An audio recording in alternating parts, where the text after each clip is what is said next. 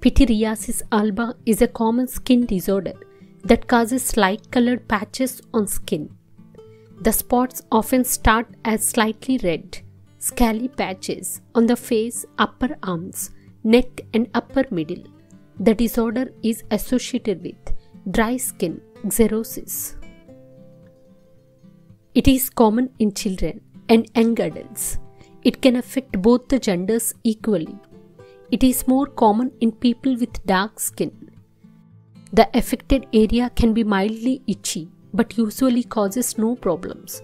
Sometimes it can appear and feel dry. Patches may persist for a few years and may come and go periodically. In summer, the patches become more prominent due to the tanning of non affected skin. During the winter, Dry scaling appears due to the dry air inside homes.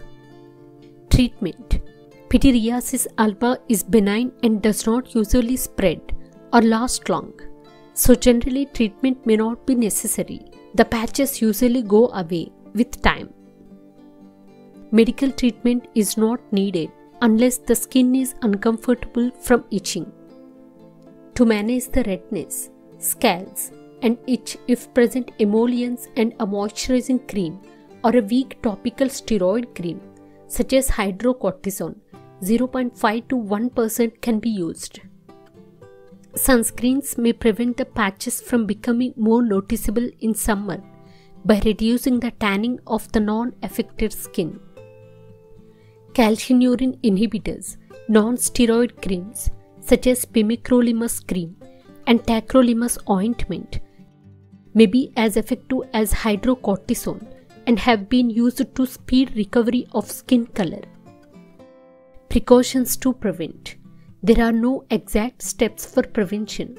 However, pityriasis alba severity can be prevented by avoiding or reducing exposure to the sun, especially in summer, using moisturizers for the dryness, avoiding the uses of soap, using high sunscreen products to affected areas no less than 30 SPF.